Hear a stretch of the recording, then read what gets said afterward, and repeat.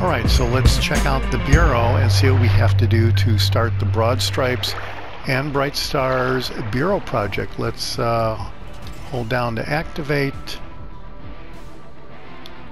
And we're going to view the project and okay so this is uh, grade one premium skin so after you get the skin you have to apply 750 buckets of paint to max this skin out to grade 4 so as I said in the patch notes video if it was grade 4 that would be something grade 1 not so much but you do get the cool skin and you have the option of upgrading it so let's go ahead and see what we have to do to accelerate through this. So we have Ernest King, and then next we're going to select Willis Lee.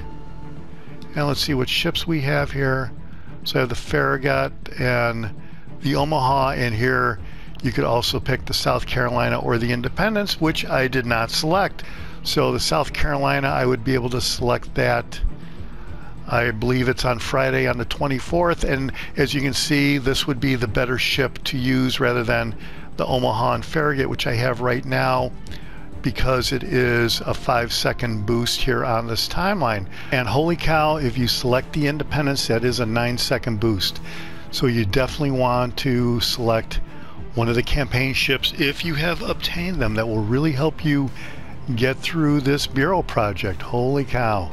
So I'm to see whether I can go ahead and add that later to really help out with the boost.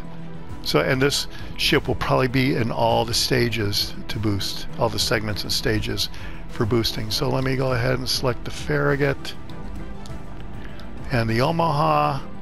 Okay, so you can see here that with all the commanders and ships selected, I can almost get through one stage here in this segment. So here I got the Omaha. Oh, this is interesting. So I think I'm going to go ahead and select this with uh, the black right here. So here, win a battle in the black, and if you cause over 30,000 of HP damage to ships, that will also increase this. So this is kind of new. This is uh, pretty cool, but since I have the black, why not?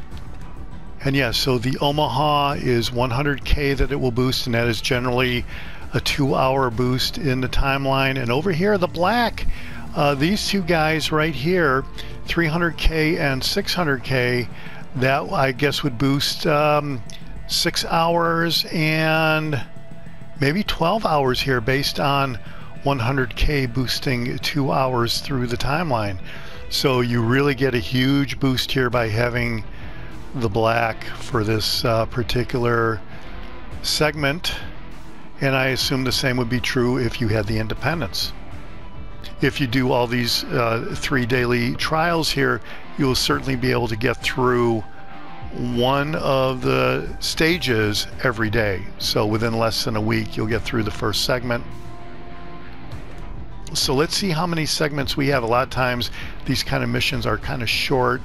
Uh, these bureau projects are short. They probably like eight missions is what it looks like here. So one, two, three, four, five, six, seven only. So should be able to get through this with no problem during the the campaign. I would I'm guessing I'm expecting to be able to do that with only seven there. So let me see. Next one is the Mahan, the Benson, Fletcher, Gearing, and okay, the Cleveland skin and the Baltimore skin are grade four, so they are maxed out. So that is a pretty valuable commodity there if you can make it through this. All right, and then generally for each of the stages here, you do get these uh, small rewards, like in this case, it'll be 1,000 global XP and three rare, looks like ship boosters there. So, okay. So that's the Bureau Project, and this is the Jaguar, and I'll see you on the high seas. Thanks for watching. Hit subscribe if you like it.